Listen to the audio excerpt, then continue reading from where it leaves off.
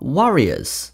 They're like sheep, they flock together. Throughout my journey as an investor, I've picked up so many different negative and positive habits for building true wealth. So in this video, I've broken down my top five millionaire habits that have changed my life.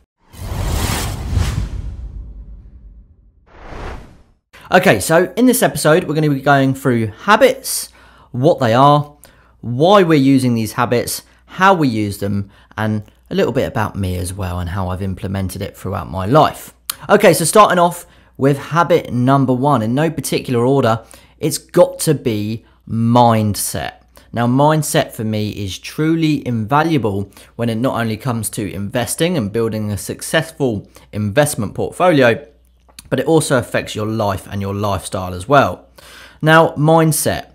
Let's talk about that a little bit more in detail and break it down. Now, for me, mindset is a habit, not a lifestyle. Now, the reason I say mindset is a habit, not a lifestyle, is because you need to get the right mindset and you need to keep that same mentality of mindset consistent throughout your lifestyle and your goals and your plans. We all have individual thoughts and mindsets of our own, but if you're really trying to become financially successful, an entrepreneur, a millionaire, that big that big word, a millionaire, you need to make a positive mindset a habit. Now, everyone has the desire to be great, but that's simply not enough. You need to change that desire to mindset and you need to make that mindset a habit. It really needs to be the backbone of your mind. It needs to be not only the desire, but the, the, the core value of your goals, your plan. You really need to have this mindset locked in as a habit. For me, I think it's extremely important. Now, some data to kind of back this sort of mindset topic is that millionaires aren't born, they're made. Now, I know your first thought, you're going to say future investments. There are plenty of millionaires that are born. Of course, there are. But generically, 80% of millionaires are self made where they haven't come from extreme values of wealth. And this again comes under mindset, doesn't it? Because if you're not born into wealth and you've created it, you've had to have that mindset to develop that financial intellect yourself. So for me, one of the five is mindset. Make it a habit, not a lifestyle. Moving on to number two, show me your circle. Now, this is something that's really important to me, and I've lived by this very much since I've decided I want to be a successful entrepreneur. Your friends are your future. Show me your circle and it will show you who you are as a person. And I think this is extremely true. I've had all sorts of different circles of friends and people around me, and I have found that networking is invaluable.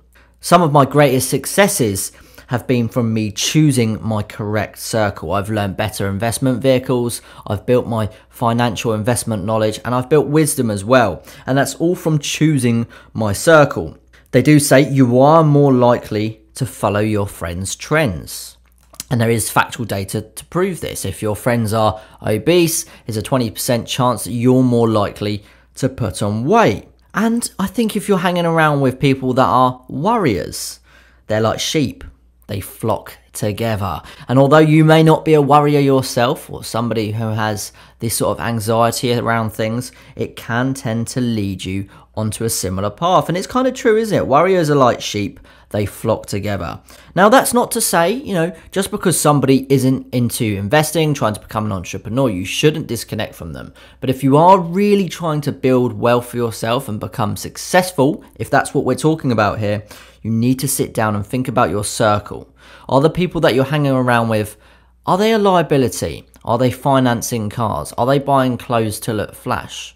Or are you hanging around with the people that are being frugal, saving for that big investment that's going to become a dividend paying asset? Maybe something that's going to become semi or, or passive. So it's something to think about. But for me, it's worked very well. So one of the habits, again, is show me your circle. Moving on, to the next habit be strong and be consistent. Now, consistency compounds. We've talked about the compound effect before. Implementing very small, regular, but consistent changes over a long period of time. And the key word there is consistent. Be strong. What do I say? Be strong. Well, I'll give you an example. When I started my YouTube channel, I remember telling close friends and people that you would consider friends but not necessarily close, you know, I'm starting this YouTube channel, etc. Da, da, da, da, da. I got a lot of negative feedback by people saying not a lot. And there's a saying, isn't there? You can say a lot without saying nothing at all. And even to this day, I still get those particular people say, How's the YouTube channel Future Investments? And I know what they really want to hear. They want to hear, Ah, oh, no, I stopped it because it was too much effort. It wasn't paying out what the work that or the effort that I was putting in. And I use that as fuel for my fire. So be strong.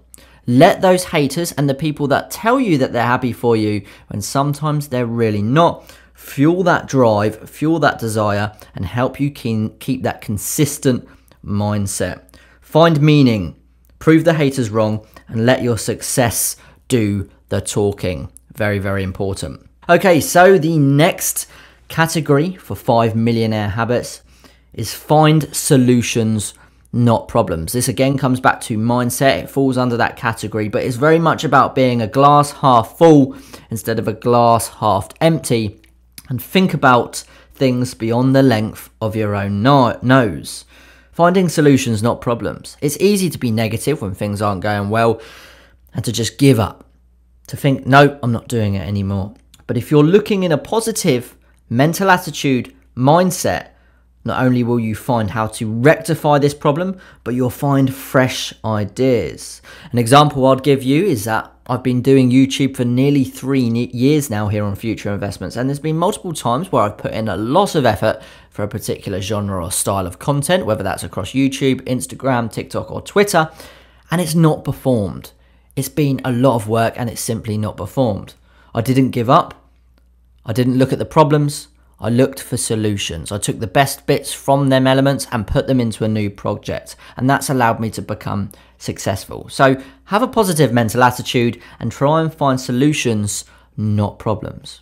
And moving on to number five, the final five millionaire habits that have helped change my life take time for you. As someone who is extremely driven, highly motivated, cannot take my foot off the gas, sort of mentality, I do need to physically pull myself away sometimes and give myself some time. This allows me to reflect. It gives me new perspective. It keeps you consistent because instead of you getting bored and stale, you take a short break, you get that fresh mindset, and you can come back and hit it hard. And that allows you to be consistent. It also allows you to update and adjust your goals, investments, and your lifestyle. Taking a break really does help you reflect. And by doing that, it keeps you healthy. And I've said this many times before here on Future Investments, it does fall under that mindset and lifestyle category genre of content. But if you've got health, you've got wealth, and everything else is a bonus. That's been the episode today on 5 millionaire habits that have changed my life. I hope you've liked it. I hope you take some of these away with you and maybe consider implementing them in your life because it has really helped me.